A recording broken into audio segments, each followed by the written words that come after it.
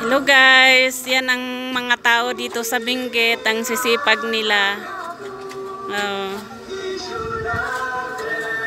Oh. Mga igorot.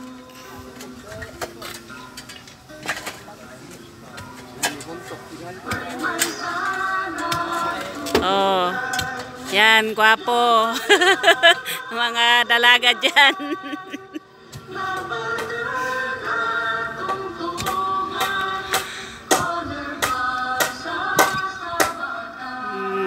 pati yung pagkarga sa truck, ano, mano-mano.